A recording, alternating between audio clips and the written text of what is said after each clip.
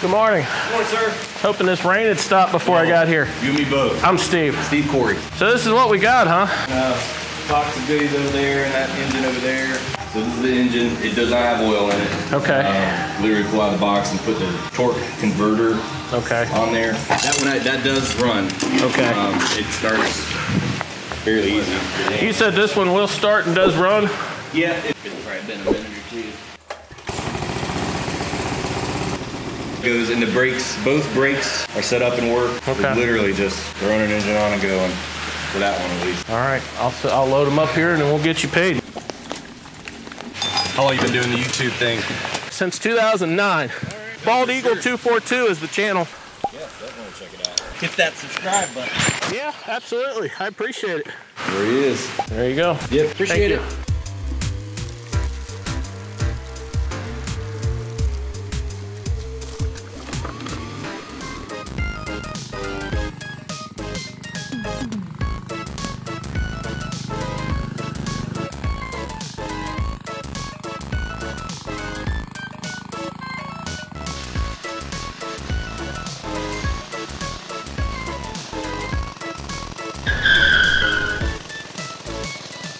Go ahead and get started on this one here. I assume that they have the choke tied open because it's hard to start. I have to spray starting fluid in it to get it to start. And then I see here somebody has either cut off the governor or it's come loose, it's broke loose. And uh, this thing does not rev up very far. It's like the throttle linkage is not opening the throttle plate all the way. This is based on this date code. Uh, if you're not familiar with how to read these date codes on these old Briggs motors, your first two numbers here are the year it was made. The second two numbers are the month it was made. Fifth and sixth numbers are the day it was made. So this one was made on April 22nd, 1996. I have no reason to believe that this is not the original motor on this cart, but I don't see a date on this cart. I don't even see a place where it's ever had a serial number or a plate on it to know what the date and how old the cart itself is, but I assume it's the same. Probably is from the 90s with on the uh, valve stem. And guys, if you've got one of these things, I know a lot of people like to unhook the governors to get a little more speed out of them. I can tell you, this thing would not still be running if this had been run with a full throttle without a governor on it as long as it has. So leave that governor hooked up on them. All right, now get us back in here where we can see a little bit better. All kinds of stuff going on in here that ain't supposed to be. Your throttle linkage, so we'll come up with a better idea than that. Probably wouldn't run if they didn't have tie wraps. Seen a lot of stuff on these old carts and mini bikes and stuff over the years where kids mostly that just really need somebody to show them how to do this kind of stuff more than anything. They try to fix it with whatever they've got. And some of them are pretty darn ingenious.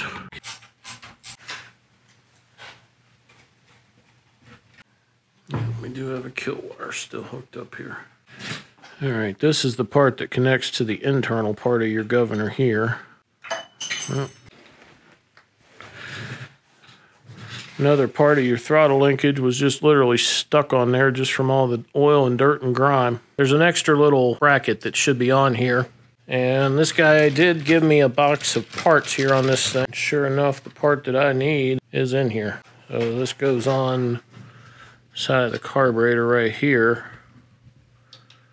So you can hook your linkage and stuff up to that. So, all right, I think I found most of the parts. You've got the swivel goes in there like that. Actually goes behind it. So this is backwards. So it goes like that. And then this bolt here has been stripped off because it won't go through there. It's actually been broke off.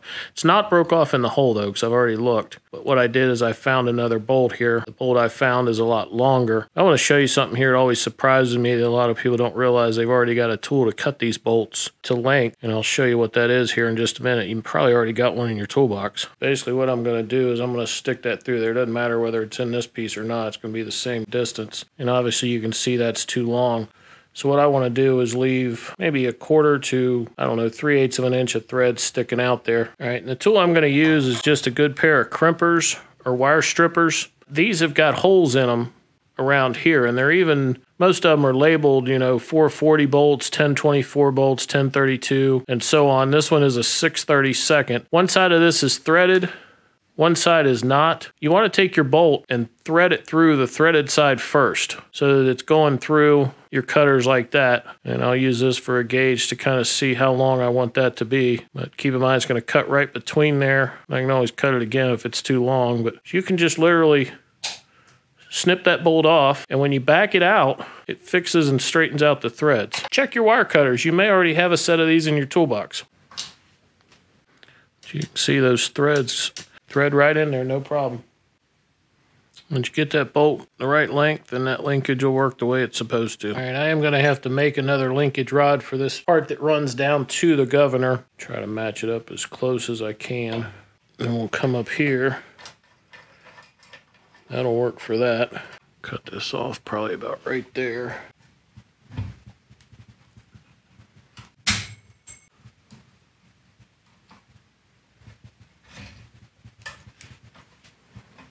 Push that through there. Bend this down so we can hold that in there without it coming out.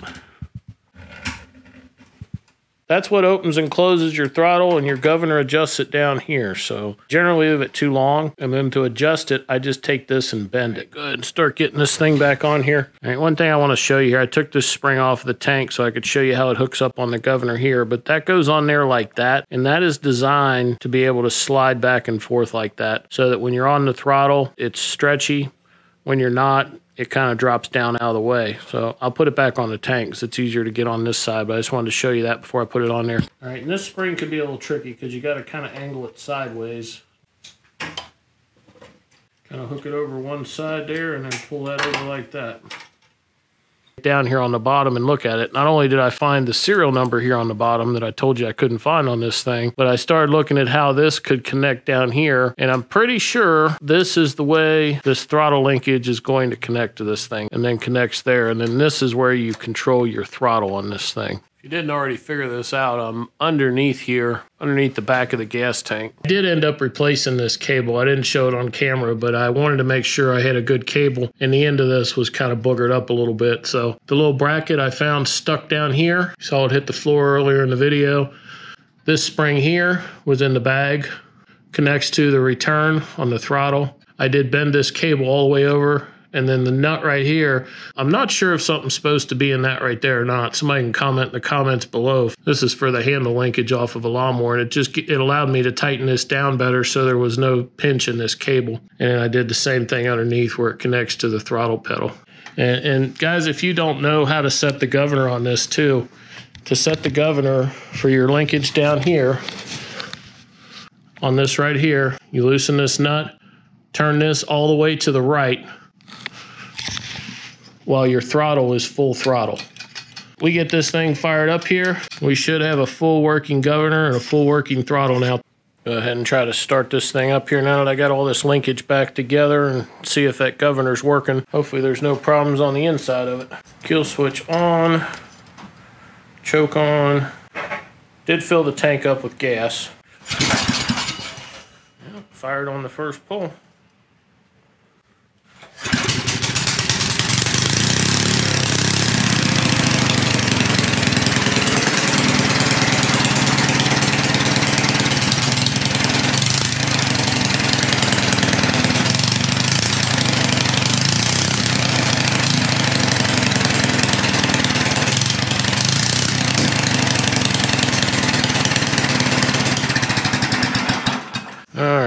Think my governor is working the way it's set up. Starting to wonder if something may be wrong with the internal part of that governor. All right, guys, here's where I'm at on this thing. I think something is wrong with the internal linkage on this governor because even though I've got everything hooked up correctly outside here, when this thing is running, this lever for the governor makes no effort to try to slow this engine down. So that's telling me something has come apart or somebody has removed some parts from inside here. As tempting as it is just to hook this thing back up directly the way it was, I at least want to pull this side cover off and make sure there's not some parts in there that are broken floating around in the oil. You know, that's a recipe for disaster. So I'm going to pull it apart here. Hopefully the parts are in here to hook this governor back up. If not, I'll either have to decide if I am going to hook it back up directly with no governor or just order some parts to fix it. Not that hard to take this motor apart. You got four bolts on the motor here. You got your linkage here. Um, you have to disconnect your kill wire here. We can take this clutch bolt out here. That'll pull everything off to the side. I actually looked at pulling this cover off without taking the motor off. And on some items, tillers and stuff like that, you can get this side cover off without removing the engine from the, the equipment.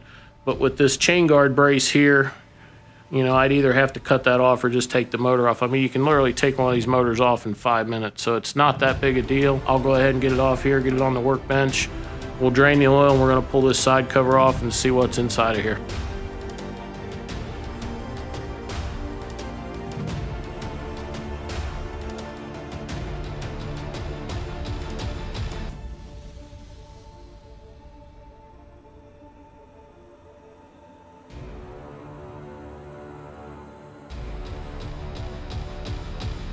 Here's the main reason why, if your governor stops working, you don't want to keep running your motor. Pieces of metal caught down in here, a couple good sized pieces. All it takes is for one of these to get stuck up in the motor. And then here, you can see how that's all bent up, but yeah, you can bypass the governor when it quits working, but you're not going to bypass these pieces floating around in your engine. Before you pull your camshaft out or any other parts in here, turn it so these timing marks line up with each other. You got one on your tooth here on your crank, and you got one here on your uh, gear on your cam. So don't pull this out until you get that lined up. Definitely don't put it back together before you get them lined up anyway. But the notch or the divot on that tooth right there on your crank has to line up with the divot in the cam gear right there. Once you do that, you can pull this cam out. Now there's gonna be some tappets or valve lifters fall down here and you wanna try to get those back in the same holes you take them out of. So pay attention to which hole they come out of. I'll hold this one and let the other one fall out. That way I know this one goes in the back of the motor I'll set that down there and this one goes in the front of the motor. This is that little piece I was showing you. So our, no matter how, what we hooked up on the outside, that governor wasn't doing anything. All right, I did label these intake and exhaust. Not mission critical if you don't do that. I just like to put all my parts back exactly the way they came out. Definitely got this broke off here. The gear itself, surprisingly, even with metal parts down in here, uh, seems to be fine. I'll pull that out and look at it closer, but it's all this crap that's floating around down in here. In fact, I think there's, you know, there's little parts and pieces of broken stuff in here. This is another good reason too when you change oil, but I like to take a paint strainer, real fine paint strainer, or even an old t-shirt and drain your oil through that filter or t-shirt and you can see metal in the oil sometimes can help you kind of identify problems like this before they get catastrophic all right i got this all cleaned out made sure there wasn't any more metal pieces or shavings down in here or anywhere in this thing Another thing here, if you've got one of these apart, this gear will slide right off and there's a little key in there. Make sure that's still in there. On this governor, I don't see anything wrong with this plastic piece, even though there was a big piece of metal laying right down in here. I'm really surprised this isn't damaged, but everything seems to be functioning with this. So what I'm gonna have to do is try to find the part to replace this, get that replaced. Not sure if I've got one or not. I gotta go start looking through my parts bin, see if I can find one. But show you something on this cam here that I noticed here after I got this apart here. But you can see here where pieces of metal have gouged this cam lobe here Something's got caught right there. This lobe here, right on that corner there, and you can see where it's been gouged right there. Little dings and dents all over in this thing. Even the cam gear itself, you can see here where something has uh, went around the teeth on that. I don't really see it from the side, so there's enough tooth there that it's still able to stay in time and run. But if you look at that right there, you can definitely see where something has went around this cam gear and gouged it. I didn't see any problem on this gear. So I don't think the piece went between the crank gear and the cam gear. I'm guessing it must have went through, got caught up in this cam gear around something else. Make sure if you do take this off too, you put this back on so your timing mark is facing towards the outside. I'm just curious here. Try this here. I'm not really worried about timing this thing right now. I just want to see possibly if a piece of metal got caught in that would have went around that thing somehow. Because it definitely caught this and had to have hit something else. There's a pretty rough spot there right at the top. Right now, more than anything, I just want to make sure that this housing isn't cracked before I put any more time into this thing. Boy, it's been beat to heck and back. You can see all over on this thing where it's been hit. Housing's all nicked up, dinged up in here. Even this connecting rod here, you can see where it's been hit. Get this down here where we can look at it a little bit better. Oh yeah. Even right there, there's actually a piece missing out of that connecting rod there. Boy, that piece has been banging around in there for a while. Amazing it's not caught something that locked it up or blew it up. Yeah, that connecting rod's got a big chunk missing out of there where a piece probably went in behind this counterbalance. I don't see any complete cracks through the housing though. Surprisingly, the piston and the skirt on the bottom of the piston from the best I can see up in there, do not appear to be damaged. Uh, you're looking straight up into the piston right now on the underside, so you can see the skirt. More than anything, I just want to make sure that the uh, piston skirt isn't damaged. Best I can tell, you can see it's been beat up a little bit in there, but I think it'll still run the way it is, so we'll find out. Even right there, you can see where something's hit that right there. There's a piece missing right there where something has caught that. So we're gonna have to get this off to get this replaced. And I know some of these parts are hard to find anymore, so hopefully we can find what we need here. And there's a little clip down in here you gotta push off. Turn that around so that counterweight's up at the top. We should be able to pull this out of here. Right there's, you can see where that's broke off there. So this is the part that spins your governor up and down, and with that piece not on there, that governor's not going to do a darn thing. I did find this governor linkage here, but it's a little bit different than the one that I've got, so uh, I wasn't sure if this would work or not. So I did keep digging. I actually did find part that's exactly like the one that's broke off here. I'm not sure if this was the only piece you had. I'm really not sure if this would work or not, because when I look at this piece here, the correct piece for this engine, comes almost straight back. When you look at it compared to this one, the little flipper part is going to be in a different location. Now, if you put this in here, and you do have to turn this counterbalance if you've still got your crank in here, turn this so this is all the way on this side and here, and this will barely fit in. The other thing here, before I show you how that fits in there, this piece here is longer. This is not the correct one for this engine. So even if you use this one, you would have to re-drill this hole so that it would mount up with the case. If not, this is going to stick way out here and the hole's going to be in the wrong spot and it would allow this to slide back and forth in the engine. But if that was all you had, I really don't know if this would work or not. Um, it will fit in there, but like I said, you'd have to drill your hole here for your little clip. And then I think this, where the gear lines up, is not going to hit that. I don't know how well this will work, I'm going to try to put a light inside of here. I'm just curious, if I had to use that one, would this work with this gear? I don't know how well you can see that down in there. That's pulled all the way out right there. Looks like it's barely going to catch it, but I don't know. I'd be kind of skeptical to try to use that one just because it doesn't line up the way it really needs to. If we take that one out, put this one in here. This is the correct one for this motor. And it took some digging to find this piece. Anyway, with that piece, which you can see with this one here, it squarely hits dead center on that governor mechanism.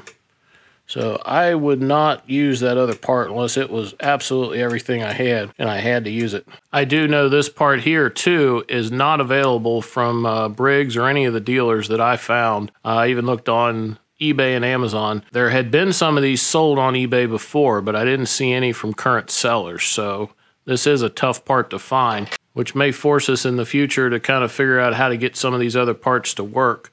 I don't think this would bend very well, but I don't know. Let me know in the comments if you guys have ever had to do this to switch these parts out, if this does work in this motor. All right, I also found this piece here, it goes on the bottom of the connecting rod. And I always called this an oil slinger, but the official Briggs and Stratton term for it is an oil dipper. So if you're looking for parts and need that part, it's an oil dipper and this is. But this piece goes on the bottom of your crank and it has to angle this way. So the bottom points out and it bolts up right underneath your connecting rod there. And then that dips the oil or slings the oil around when you're running the engine here. Don't know what it would do to run without this, but I'm sure the engine would not get the adequate or as much oil as it's supposed to. So I don't know how long it ran without that one, but what I'll do is go ahead and pull the bottom of this connecting rod off first.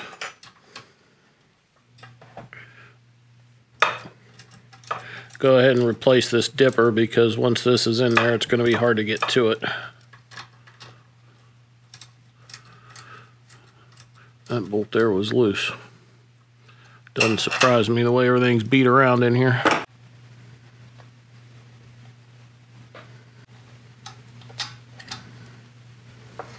Piece of that piece that got broken off there. I can already read the comments you guys are putting down in the bottom here because I didn't pull the piston out of this and look at it. But as Terrell says, it's not the space shuttle.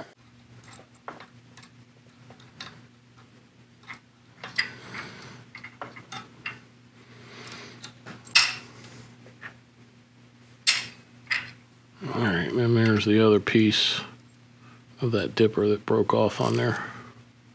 All right, when you put this piece back on, make sure it's angled this way. And that just barely clears the bottom of the case right here. And I'd say this would come into really good play if you happen to let an engine get low on oil and you don't have this in here. You're probably not going to get any oil up in this engine. All right, on these connecting rod bolts too, they have a very specific torque setting that you have to make sure you use a digital certified torque wrench, quarter inch drive only. You want to tighten these down until that digitally certified torque wrench clicks just right. If you don't, as soon as you touch the pull rope on this motor, it's going to blow up. So make sure you use that digitally certified torque wrench and pull it over here until you hear it click. Click. And do the same thing on this side. Click. That's all there is to that. When you put this governor rod back in here, make sure your counterbalance is at the top. You got enough room here to get this in. Just slide that through there. And there is a little washer that goes on here. I find it's easier just to slide that out and hold this over the hole and then just push that through there rather than trying to fit it over the end. And you can take a small pair of needle nose pliers and just put that in that hole right there. Just make sure that's in there good. This is down at the bottom and you can put your lever back on here. Trying to fight me here a little bit, but just take a pair of pliers and kind of push it up on there. All right, guys, here is how this governor is supposed to work. So you've got your throttle cable connected in here, pulls that over like that. So when you push that throttle down like that, that opens and closes your throttle here. Now on the side part here, you've got this gear inside the uh, crankcase. And when this spins, it slings these little counterweights out like that. And when those counterweights get slung out, it pushes this pin out. And then what that does, so my finger will be the pin. So right now I've got the throttle, I'll hold it wide open. You can see here at the top, hopefully you can see that. You can see here, that opens and closes your throttle. And then once the engine revs up to a certain RPM, it slings those little counterweights out and it pushes this. And then you'll see there on the top of the engine, when I push this, that backs your throttle off. So once this gets so much momentum, it backs it off. And then when it slows back down, even if you hold the throttle, you know, I'm still holding the throttle wide open down here. That will reduce the RPMs on this motor by cutting the carburetor off. And that's how this thing is supposed to work. And I'm pretty sure once we get it back together, it's going to work as it's intended to. All right, I will show you here if you're dead set on trying to get as many RPMs out of these little engines as you can without totally disabling the governor, where this spring connects to this throttle lever down here at the bottom, that's the spring that slides up and down on the external part of this arm here. Take this spring or the bracket that the spring mounts to, needle nose pliers will fit back in there. If you bend this so that that spring is tighter, that will fight this governor arm here more. And bending that down so it tightens this spring up on the outside, that will give you more RPM out of this engine, and vice versa. If you've got one that's running too fast and you want to govern it down, bend that so that spring is looser. That spring is effectively fighting your counterbalance here on the inside of the motor, so it makes this harder to push. So the tighter that spring right there is, the harder this has to push before it's going to affect the speed of this motor. So that's the tip I'll give you here instead of totally disabling these governors is just set them up so that they'll maybe get a few extra RPMs, but don't go overboard, especially if you've got an engine that's been abused the way this one has. They're not going to handle that extra RPM very long. So, all right, when you're ready to put this thing back together, take compressed air and blow this out as best you can. I already did it. I didn't want to do it on camera because it's really loud. I did go ahead and take the tape off of this, but this is the lifter or the uh, tappet intake cam. Take a generous amount of assembly lube. This stuff is pretty thick. And what that'll do, I put a lot on the top there.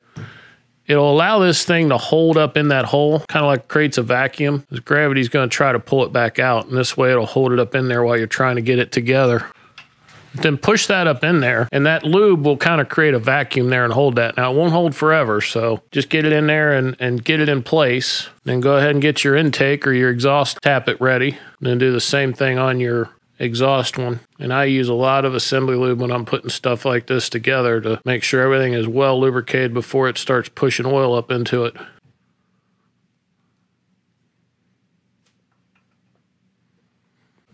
All right, and what I'll do here kind of hold those in place. I'll get my timing mark close on my crank. So I know about right there is where that timing mark needs to be. Trying to hold those here. I don't know if you guys will be able to see this where the camera's at, but put a lot of assembly lube on your cam lobes.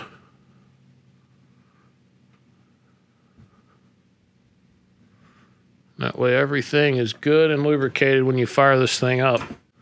And I'll get this turned so my timing mark is pretty close to where it belongs. That way the cam lobes will be out of the way. And when you push that back together, make sure your cam lobes are up in there and your timing marks match up. If you get those timing marks pretty close to lined up, that ensures that when you push this cam back in here, the cam lobes are going to be in the correct spot to let them match up to everything. And then what I'll do is kind of hold all this together so that that lube I put on those cam lobes will get moved around in there really well. And I'll turn it all the way around. Make sure your dippers, you know, not hitting here. Um, and the other thing I'll do is put some lube on these gears themselves. You can't put too much of this stuff in here, so don't worry about that. And you know, I guess I should have told you too. I did file these teeth down that were kind of boogered up, so there wasn't any raised spots on the surfaces or the face of the teeth. So it is the same cam, but I did file the teeth down so they uh, don't have any sharp bad edges on them. You should be able to come all the way around and your timing marks should line back up you know, on the compression stroke there.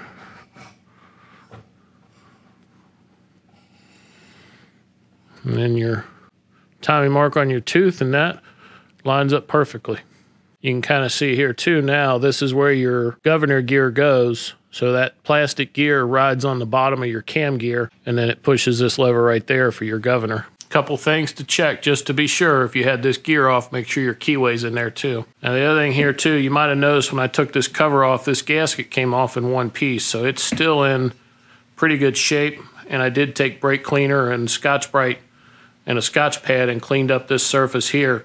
But what I'll do is I'll take some uh, oil resistant gasket maker and I'll put a real thin bead around here just to give it some extra ability to seal. Doesn't take much of this stuff. And if you read the directions on this, you're supposed to apply this, put it together hand tight, and then let it sit for one hour and then come back one hour later and tighten it down to torque specs. And you're not supposed to add any fluids to it for 24 hours after that. So I kind of pull this towards the outside so you don't get too much inside the engine. You don't want to get this in there where it's going to gum up the engine.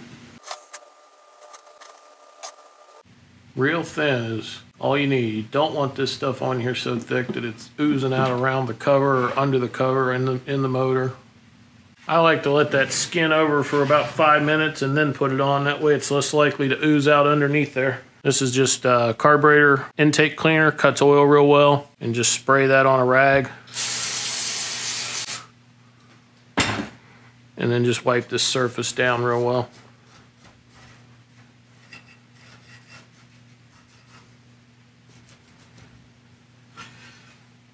All right, one last check here before we put this cover on. Our timing marks are lined up. Our keyway's in the uh, crank gear. Our governor's down here where it's supposed to be. I did not tighten this up yet because I want to make sure I get this adjusted after this gear is in place. Slide this on there. Make sure this seal is good. If it's not, it's a good time to replace that seal. Slide this on there as straight as you can get it. Make sure your uh, little governor gear goes on smoothly and matches up to that cam gear and it should pop right into place. You do not need to hammer this. You got to get a hammer out, something's wrong. Pull your rope a little bit on the other side. It'll help to get your cam gear and your uh, governor gear lined up and then that you'll see how easy that went on there. That's how easy that should go on. If you have to force this, something's not right. And we'll put these bolts in hand tight and I will wait about an hour to come back and, uh, and retighten them down to spec. And I'll use that same digital uh, certified quarter inch torque wrench that I used just a little bit ago. In all seriousness though, if you don't do this kind of work all the time, I would recommend getting a torque wrench so that you can get these bolts torqued to a spec because, you know, even though it's not a space shuttle, they, they do have some leeway one way or the other, but you want to try to get them as close as you can. What I'll do is just snug this down and we'll let that sit there for an hour and then torque it down.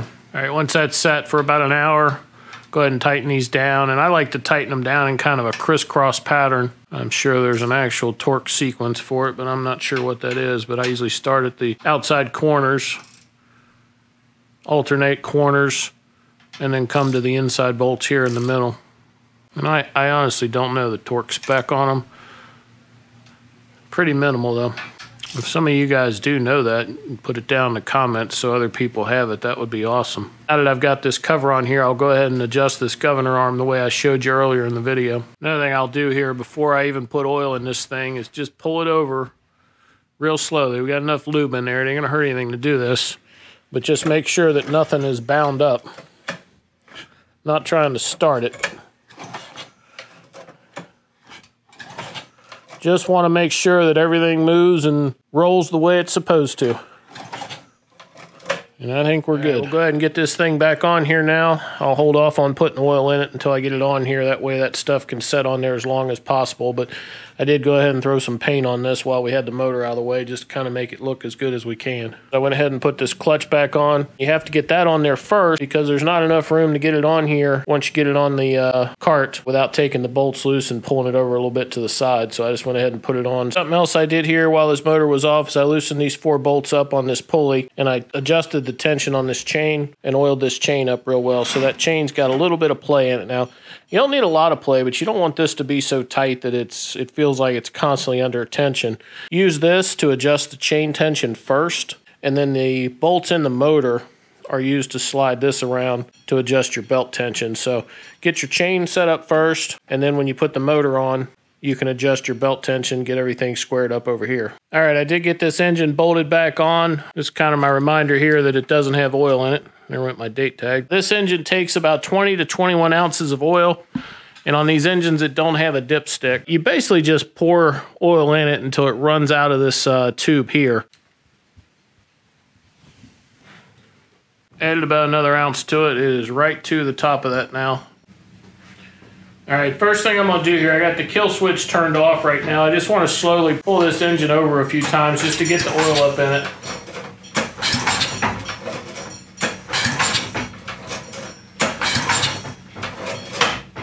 All we're gonna turn the choke on. We're gonna turn both kill switches on.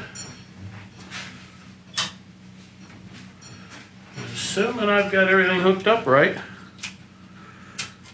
We're about to find out.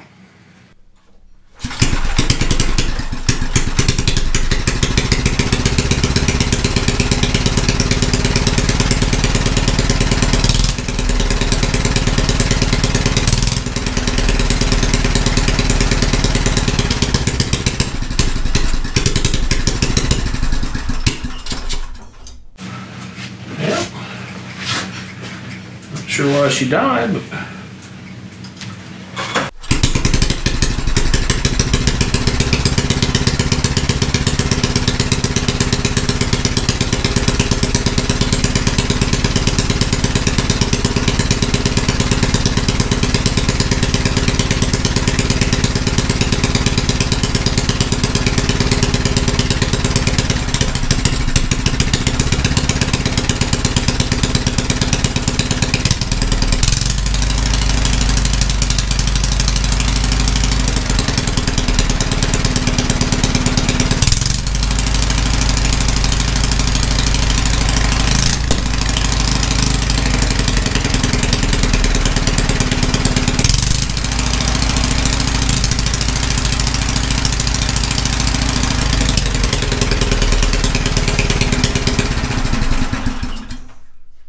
we have a working governor.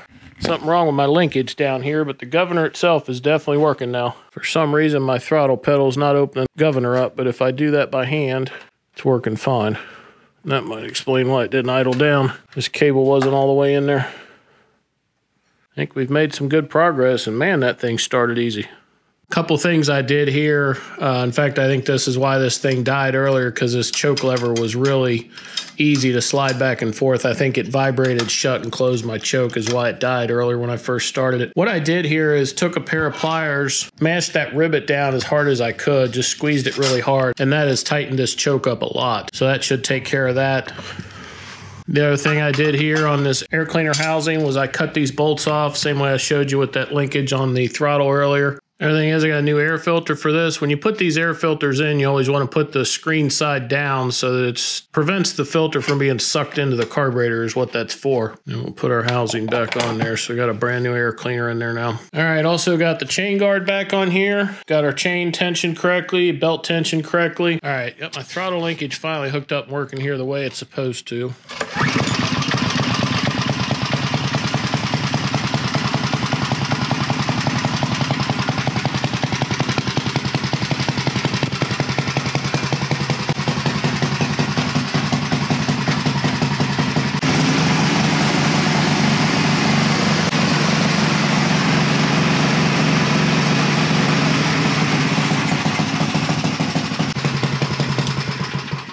she's definitely a little bit of a smoker, but considering what she's been through, she's running. All right, I got a pilot here for this thing now. My buddy Rich here. He's gonna wheel this thing for us here and see what we got going on here. Hopefully this thing won't blow up on us.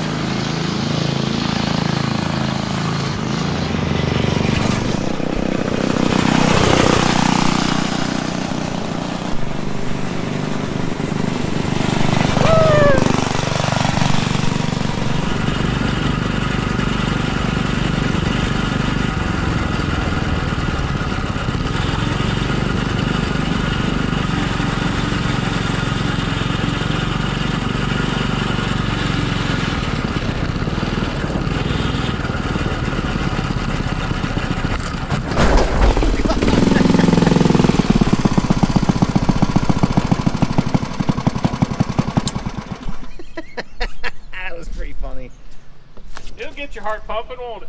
That's a lot of fun, actually. I think that's going to have to wrap it up for this video, guys. It turned out to be a lot longer than I expected it to be, but I'll keep this one for myself and have my kids play around with it.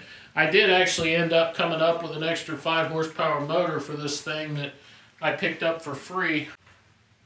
Picked that up off of a old snowblower that somebody was getting rid of, so hopefully I don't need it, but if I do, I got a uh, motor to put back on this thing.